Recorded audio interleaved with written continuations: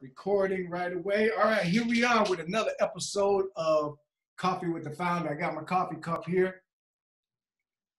Got my coffee, and of course, we got another outstanding guest, uh, a, a, friend, a colleague, uh, a brother. Uh, yes, yes, yes, uh, Christian Picciolini. Uh, Christian, listen, we've been doing these coffee talks as a way to introduce people in the WPC network and the WPC family to all the good folks that are doing the work they're doing, not only when they're on the stage or in workshops, but when they get back to their homes, how their work came about, and just getting to know folks who are out there doing the kind of work that we're doing. So we're glad you could join us. But let's start by just asking you to introduce yourself. How do you tell people who you are and what you do? Well, Dr. Moore, thanks for having me, first of all. Uh, I uh, currently uh, run an organization called the Free Radicals Project that helps people disengage from extremist movements, um, mostly white supremacist groups. Been doing that for about 20 years. And most people ask, well, how did, how did you get into that kind of work? And that's because 30 years ago, when I was 14 years old, I was recruited into a white supremacist neo Nazi skinhead group where I spent uh, eight years from the time I was 14 until I was roughly 23 years old uh, as a member of that group, uh, somebody who was violent, as somebody who was a propagandist, who recruited other people, uh, and eventually found my way out and worked to try and repair the damage that I caused during those years. And I've been doing that uh, for about 24 years now. Uh, in this environment, I don't, unfortunately, don't think that uh, it's you know work that's going to come to an end anytime soon. Uh, but uh, yeah, in a nutshell, that's what I do is I try and use the experience of my past and the insight that I gained during that time, not only to try and repair the damage that I've caused, but also to try and prevent it from happening in the future. Yeah. Now, uh, can you tell us a little bit over the 20 something years, what did white supremacy, white supremacy look like then versus what it looks like to now? Is it the same? Are there some, uh, give us a sense of evolution changes. When you think about or talk about white supremacy or white supremacist groups, right. how does that look different today as opposed to what it looked like when you recruited, were, were recruited at 14 years old? Yeah, well, I mean, I think in terms of like the white supremacist power structure, not much has changed, unfortunately. That's been the same for hundreds of years. Uh, but in terms of like the more visible hate movements and things like that that that have come out of that, um, in the 80s we were very visible. We were you know we had shaved heads and had tattoos and and waved flags and wore patches that you know we wanted to show people what we were about because we were a fringe group at that time. We you know the militant wing of this thing was very small in, in the 80s uh, but it also started to get infiltrated by law enforcement. We recognized that that was a liability to be seen because we wanted to terrorize people, and we did by the way we looked. But then we saw it as a liability because we were being infiltrated. It was becoming too easy to target us. So we decided to blend in. We started to tell people, grow your hair out don't get tattoos don't even join a group like the klan or become a skinhead because it's too easy to take those groups down. Go out on your own be a lone wolf uh, still influence people and still you know pledge allegiance to the to the cause but don't show it. And that's when people started to really blend in. And one of the first people to do that uh, was david duke when he got rid of the klan robe uh, and you know gave up his position as the grand uh, wizard of the Ku Klux Klan and, and became a politician. He you know won a, a seat in the House of Representatives uh, for Louisiana. So that was really kind of the start of that normalization of the more militant side of the white supremacist movement. Uh, and today, you know, we're talking about the alt right, which is you know dressed in khakis and polo shirts and look like uh, you know some of our young Republicans on college campuses. So it's, it's very difficult now uh, in this movement that has grown exponentially to even decipher who's who. Yeah, that's helpful. I want, I want to ask you a little bit about just kind of how you almost like cipher them out. Are there some ways, or uh, have you or, or come up with or thought about some ways to really uh, let's say if I was interviewing people for a job to kind of get a sense of maybe them leaning in that way. So uh, I want to ask you about that. But uh, first, I want to um, come back to um, kind of David Duke and, and, and what it looks like. So that's a political figure. Is it possible, like in school buildings, teachers or administrators or bankers, I mean, are we talking about an all-out infiltration of the general population?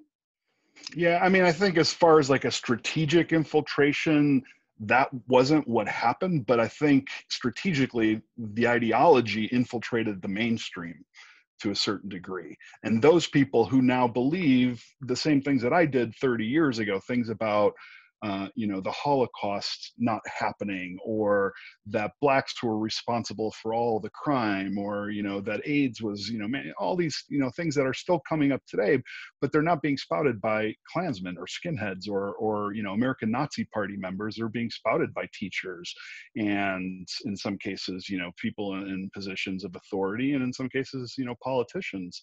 So I think the ideology has definitely seeped into the mainstream. Whereas before, you know, white supremacy was control of power over other people. Now the, the ideology of white supremacy and some of the more kind of white nationalist ideologies have crept into uh, people in the mainstream who happen to have positions of power. You know, they may be our dentists, they could be our teachers, they could be our airline pilots. Uh, you know, for us to think, you know, if we want to talk about privilege, for us to think that a white person who has access to a plane, like a pilot or a flight attendant, couldn't fly that plane into some buildings like some brown skinned people did. That is the definition of, of how we are privileged looking at this this terrorism situation.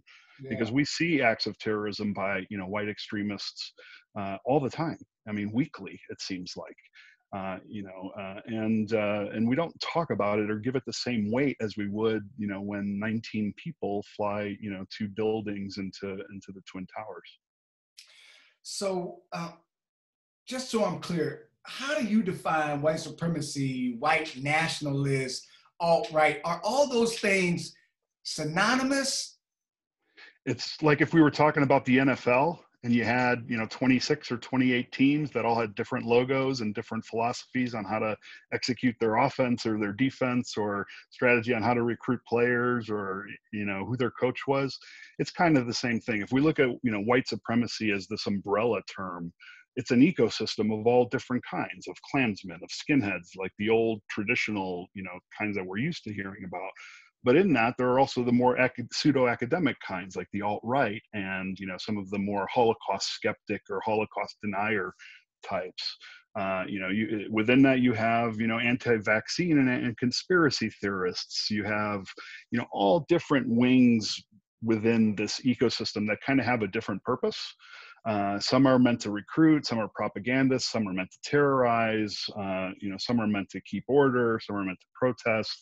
Uh, and it really depends on you know who's kind of shaping that little part of, of that ecosystem but they really do all overlap.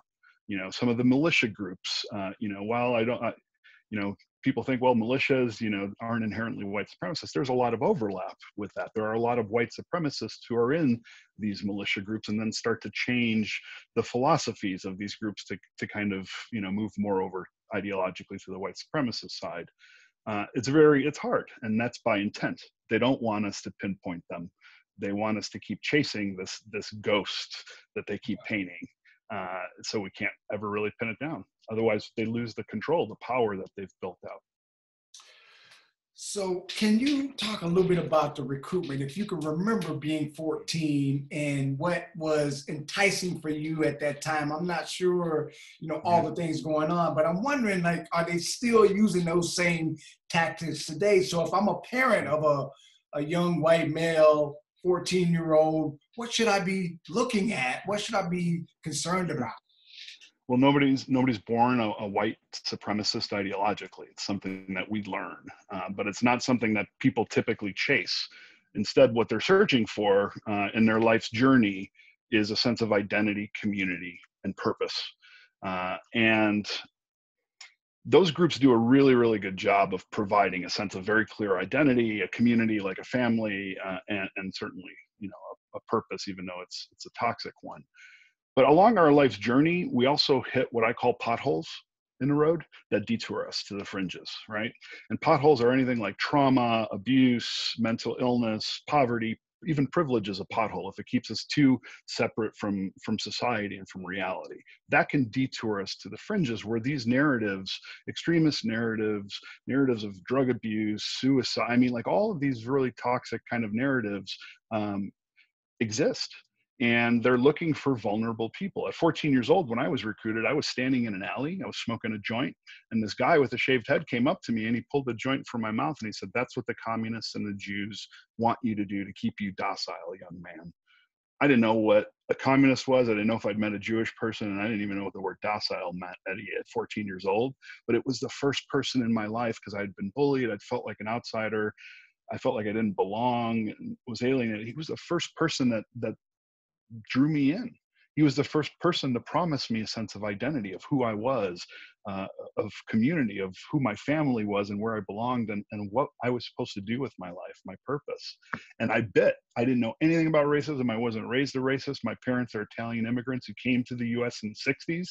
And they were the victims of prejudice oftentimes when they came over. So it wasn't something that I was raised with. They had friends from Iran and, and you know, Spain and, and Mexico and all these places. So I always was exposed to it. But what I was searching for was my parents' attention because as immigrants, they had to work 16 hours a day, seven days a week, and I never saw them.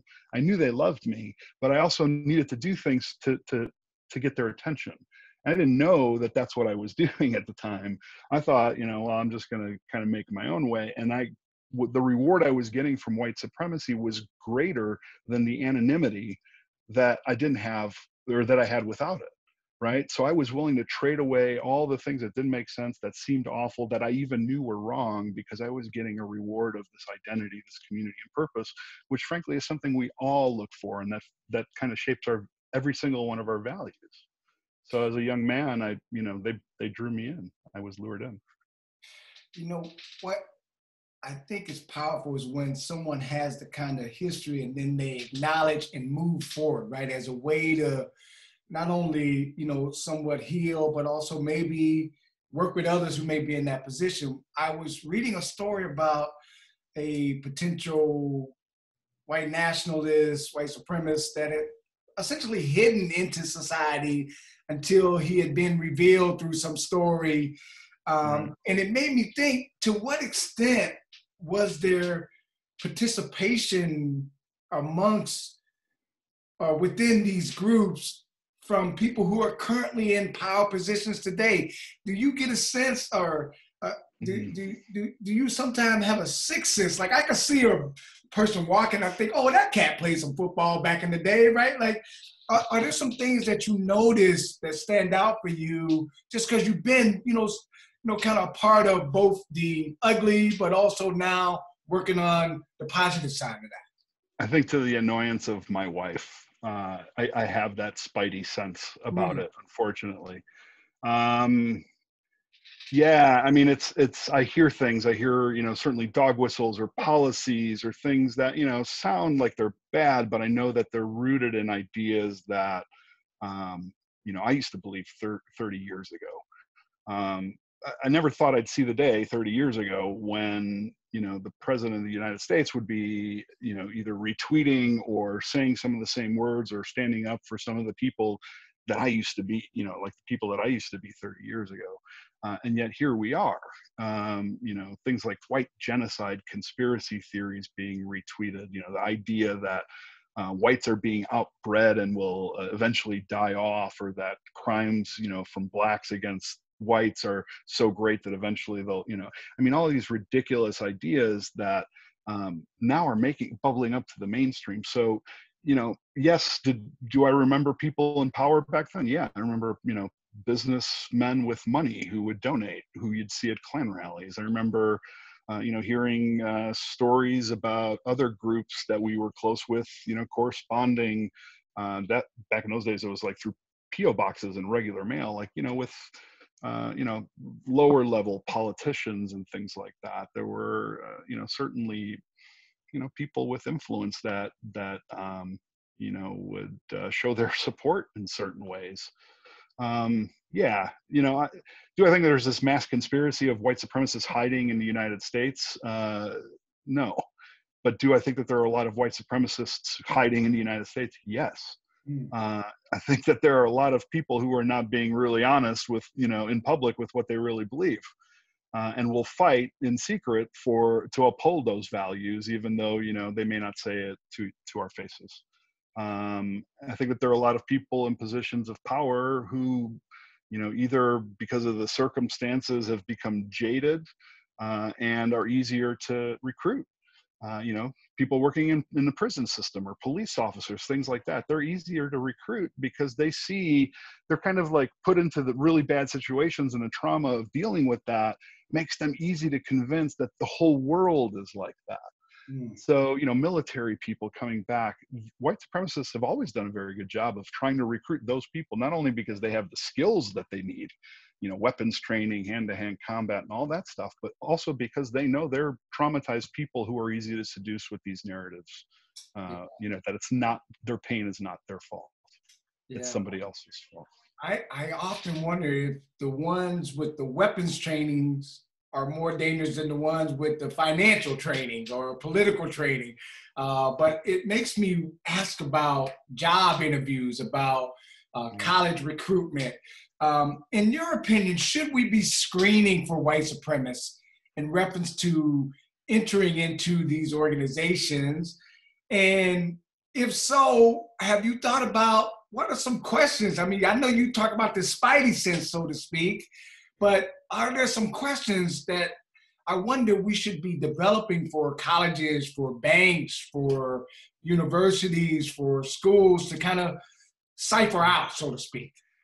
You know, that's a that's a really tricky question because, you know, access to information changes people, right? So like me going to school and me getting a job and me being exposed to the people I thought I hated actually was what de-radicalized me because all of a sudden I wasn't demonizing them and I was humanizing them and, and I was, you know, from the time I was 14 until I was 23, never put myself in situations to challenge what I believed. And hmm. then all of a sudden when my worldview changed, my you know uh, when my world changed my worldview started to change. So i don't think we should be keeping them out because i think that's exactly kind of what makes you know that that isolation from reality that you know narcissism that you know the world re- revolves around me is kind of what creates this to some degree.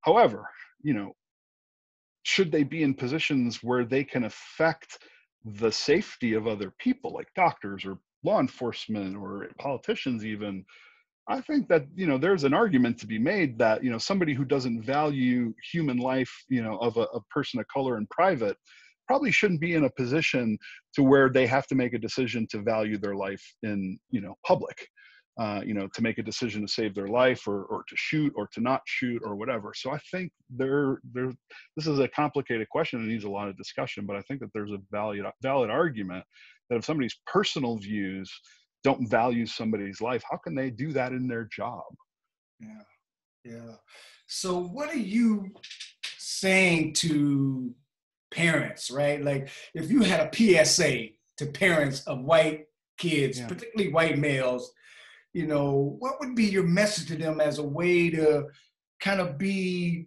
um, somewhat attentive to or preventive of some of the things that kind of drew you in? It's going to sound a whole lot like, you know, 1990s uh, suicide prevention campaign and some ways, you know, anti-drug or anti-bullying campaigns if your kids are isolated, if they're withdrawn, if they're struggling with social anxiety, if they're bullied, if they're, um, you know, suddenly changing their habits and, and not doing the things that they love to do anymore, they're searching for identity, community, and purpose, and they're susceptible to to radical to radicalization to an extremist behavior. And when I say that, you know, extremism doesn't just have to be political, right? It can be personal extremism. Suicide is an extremist act. It is the act of me murdering somebody, myself, because, uh, you know, I'm angry, I have a grievance, I have a struggle, I have a pain that I can't overcome, whatever. And that's the same, in many cases, the same reason why somebody walks into a place of worship and murders people. Maybe that it's not themselves that they're trying to, you know, eliminate the pain from, but it's you know in some other way. Drug abuse is a personal extremism. Uh, you know, uh, joining a cult is, is extreme. All of these things manifest because we're searching desperately for identity, community, and purpose. And if we don't find positive outlets for that, then the only other options are oftentimes these very, very negative ones that are looking for these people to draw in. They're not looking for the best of the best, the most, you know, motivated, the smartest in many cases. They're looking for the people that they can easily lure in with this promise of paradise. Uh, and if you're full of joy and your life is, you know, satisfying and you know things are relatively good, you're typically not looking for those outlets uh, like that. So I think for parents, you know, we need to look for the ones that are the most vulnerable. I think to this, and that is uh, sometimes even the ones who have a lot of you know drive and have a lot of things going for them but don't have the outlets to fulfill those things also are easily drawn into these things because they look i was an idealistic kid. I, I was you know at 12 years old drawing plans for hotels that i wanted to design and this and that. I wanted to do good things i just had no outlets for it and then somebody gave me yeah yeah uh, can you talk about the internet uh, the social media because I'm imagining 14 for you, it wasn't as prevalent as it is for a 14 year old today. Uh, there was but, no internet. yeah, can you talk a little bit about the challenges, the new challenges that social media, the internet brings about in reference to white supremacy, white supremacist groups? Yeah, well, it, there was no internet when I was a 14 year old, you know, in 87. Uh, it didn't really start being popular in, until the 90s. Um, and I had to find it in an alley standing there and it, somebody had to hand me a pamphlet, put their hand on my shoulder, invite me to a meeting, a rally, something like that. Uh, the internet today is providing a platform where you don't need that anymore. It's a 24 hour, all you can eat hate buffet if that's what you're looking for, right? Um, and you know, if we think about the millions of 14-year-old me's that are out there today, lonely, isolated, maybe struggling with things, maybe you know, maybe their home situation's not great, maybe you know, whatever it is that they're searching for, they can find it online, and recruiters know that. So they're going to all the places where young people searching for identity, community, and purpose are. They're going to multiplayer online video games. They're talking to our kids over their headsets they're going online to forums. They're going to depression forums and autism forums where you know people are opening up about like personal issues and they're kind of trolling for people there. Um, you know, they're going to the digital alleyways uh, of my youth. They're going to the places where young people hang out, where they know that if they throw enough out there, they're going to, you know, reel in enough people.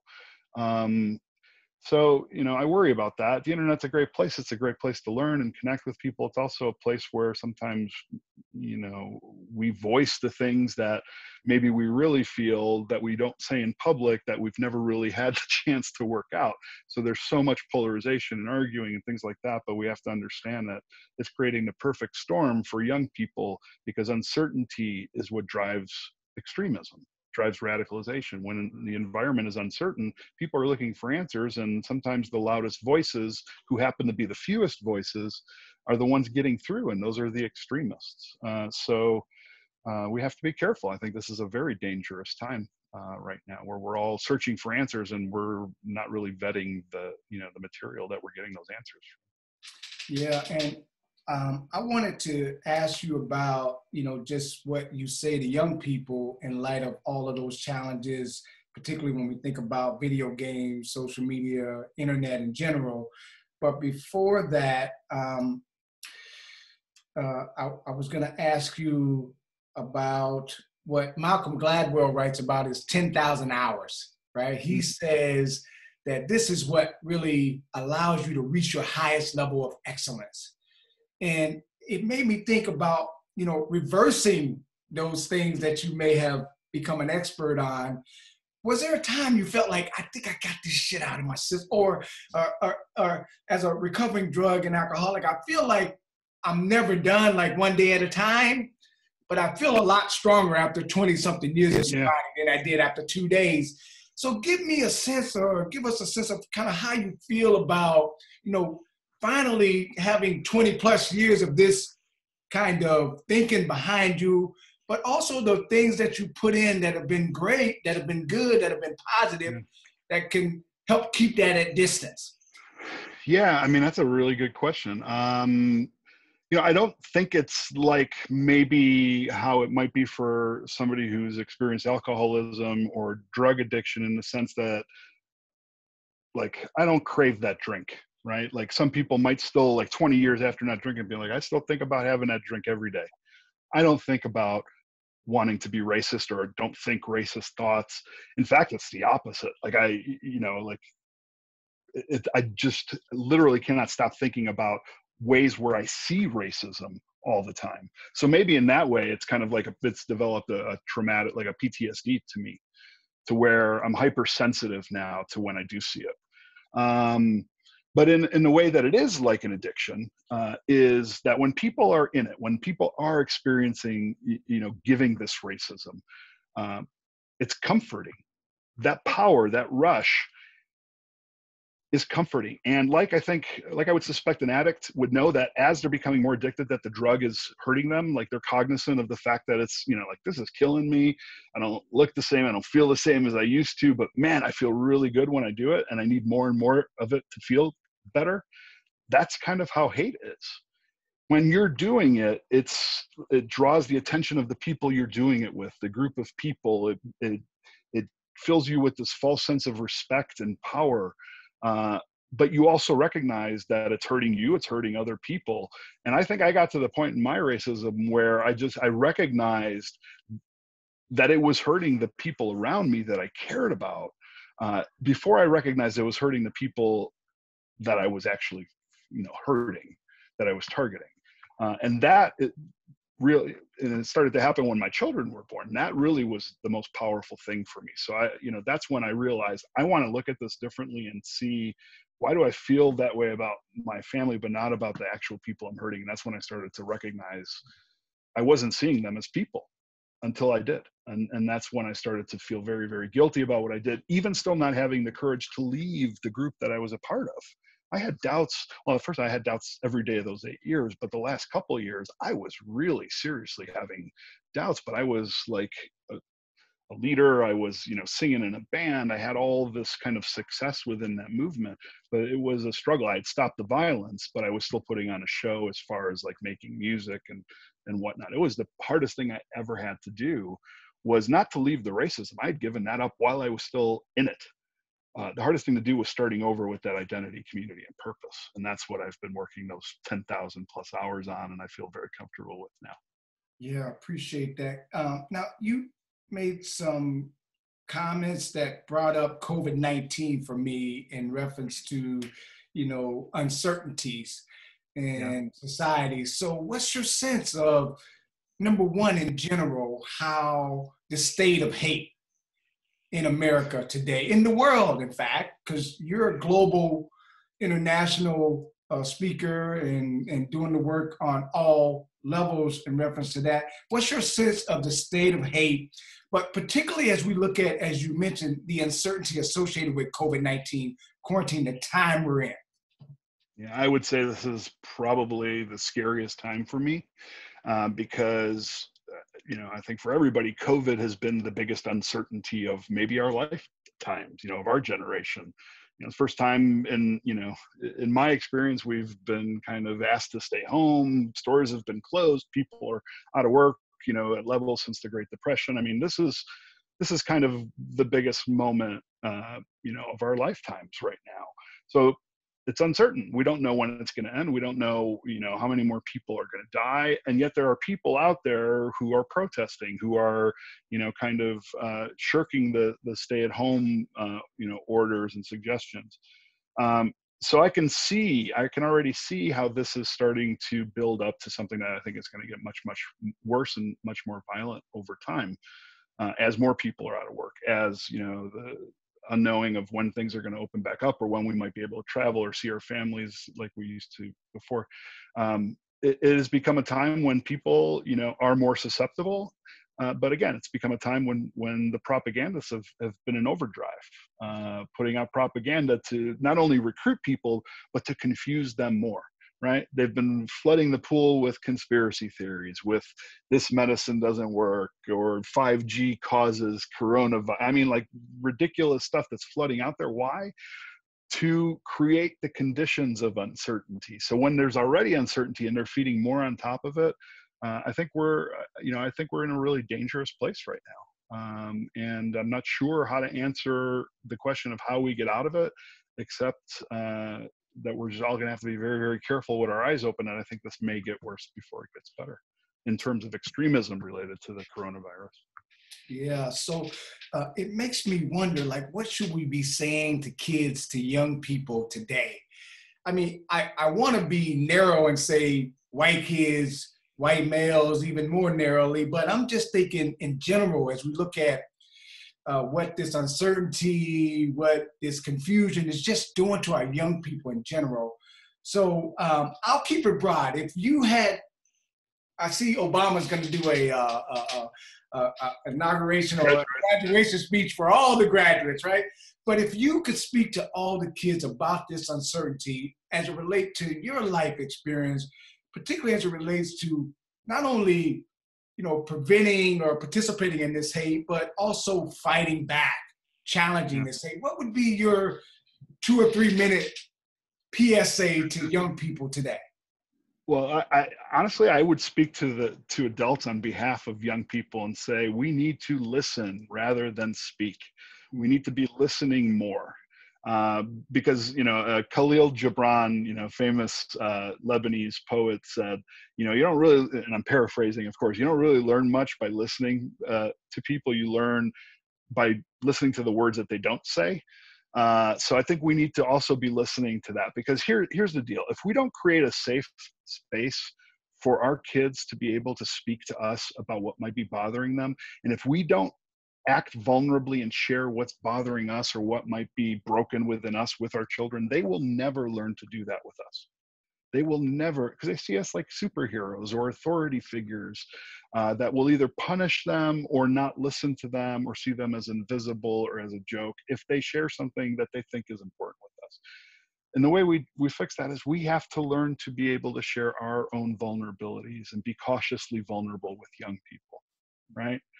There were points when we were worried about our ears being too big if we were too short if our breath smelled if you know we weren't good looking. We all have these insecurities and we still do right?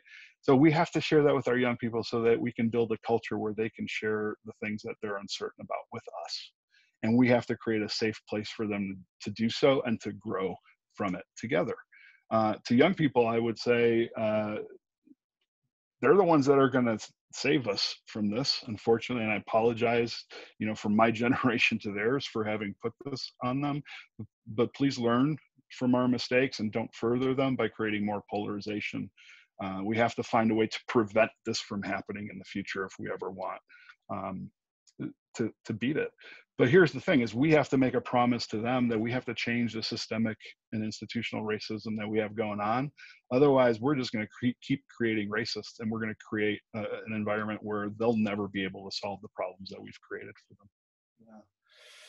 now i often wonder has there been a role for people of color in extremist white supremacist groups organizations. Have you seen that in your experience? And what's your sense of that? Because I, I mean, I, I think we often just think white people, white supremacy, white supremacist groups. What's been your sense of the role or the participation or the collaboration with people of color? Yeah, unfortunately, that's a, that's a perplexing question that a lot of people ask. And again, if we think about it not as an ideological thing, but a place where people really are rewarded by a sense of identity, community, and purpose. Uh, that answers a lot of that question. How can you know? I used to know uh, when I was a skinhead, a black guy who had two large swastikas tattooed on his arms, right? And he hung around. He said racist things. He, you know, he. There were other people who were Latino. I today work with uh, people who are Jewish, who you know, whose parents come to me and say, "My son's denying the Holocaust." You know, how the hell does that happen? Uh, and, and what I tell them is, is the ideology is just the permission slip for them to be angry it's the it's the reward that they're getting from a sense of finally understanding who they are even if it's not who they are uh, the community the reward that they're getting from this new family this new environment and and the purpose that they've been filled with because of you know this this toxic belief.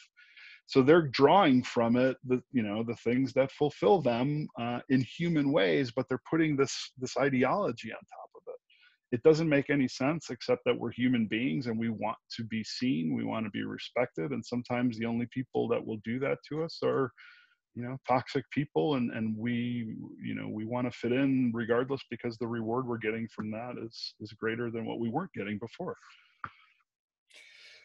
doesn't make sense, my friend. I don't know. Oh I mean, man, it, it's, it's it listen. It doesn't make sense for anybody to join these groups because the whole purpose of these groups is to scorch the earth and not about the individual. It's not about the person. So everybody who joins these groups is is really compromising themselves as a human being by doing so. Yeah. Well, I just um, been grappling with this internal question about what is a racist? Who is a racist? What is an anti-racist? Reading, reading Brother uh, uh, uh, Kendi X's uh, book um, about anti-racism and being an anti-racist, and it's um, just one of those things that this stop, this immediate halt to all the stuff I've been doing, has had me reflecting upon, and uh, so uh, it's just helpful to just not even though the answer is clear, just to hear some articulation. But I'm wondering for you, uh, what have you been reflecting on in this time? Uh, first, how are you doing being quarantined there, uh, my friend? Uh, and and uh, is there some introspection going on? And give me a sense of, of, of just what you've been thinking about during this time. Yeah, uh, well, I've I think I've completed every home project known to man. I don't think I have anything left to do. Uh, but you know, I've been kind of self quarantined since March, and uh, you know, doing our part. I, I, really see this as a service. Like we are all pitching in. We are all like, you know, this is this is not about doing nothing. This is actively doing nothing to do something. Uh, and that's to stop the spread of this virus. Uh, what have I been reflecting on? I think is the fact that it's just not good enough to not be racist. We have to actively be anti-racist. This is a time when we cannot turn a blind eye to what's happening. There are too many people being impacted by this on a daily basis. The signs are too obvious.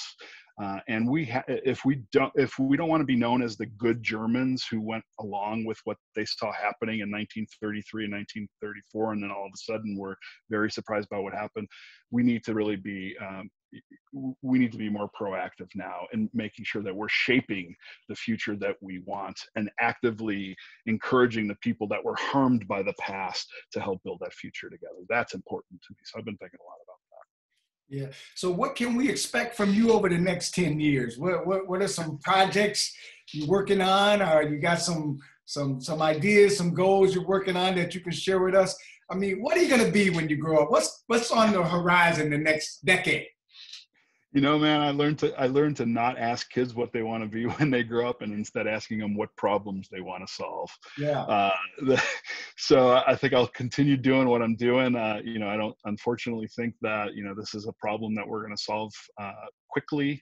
Uh, it's something that's i think going to take some some really serious work uh, and i'll be i'll be doing that. Um, man, 10 years of, I'm trying to get through today, my friend. Yeah. Uh, 10 years from now, I hope to still be alive, be healthy, and, and hopefully be in a better place, uh, you know, for more people than we are today. Yeah. Well, um, we're going to let you go. We appreciate the time. Um, I, I, I've been asking people one last question because uh, we find that folks have a little extra time during quarantine. So we're wondering, uh, we're trying to build a what to read, what to watch, what to miss. Is there anything you've been reading, watching, listening to that you want to add to our list? It could be something you learn or learn from, or something that just takes you away. Um, uh, well, I'm going to recommend. I'm going to recommend two books.